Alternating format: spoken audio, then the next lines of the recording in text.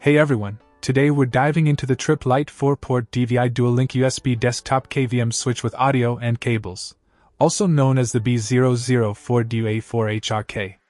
This nifty device allows you to control up to four computers with just one DVI monitor, USB keyboard, and USB mouse. Let's talk resolution. It supports DVI dual link resolution up to a stunning 2560 by 1600, ensuring crisp and clear visuals for all your computing needs.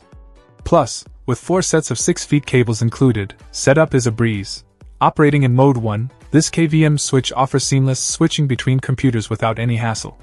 And with a current rating of 2.4 amps and an operating voltage of 5.3 volts, you can trust it to handle your devices with ease.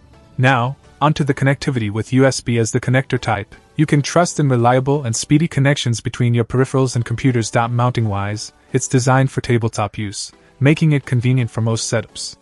However, do note that it doesn't meet specific specification standards, so keep that in mind depending on your requirements. In conclusion, if you're in need of a reliable and efficient solution to control multiple computers with just one set of peripherals, the Tripp Lite 4-port DVI dual-link USB desktop KVM switch is definitely worth considering.